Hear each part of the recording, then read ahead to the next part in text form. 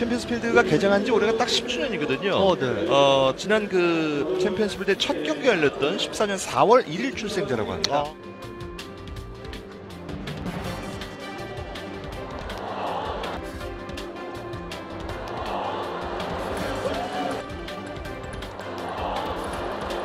아. 야, 이 어린 학생이 이렇게 시구하는 거 처음 보는데요.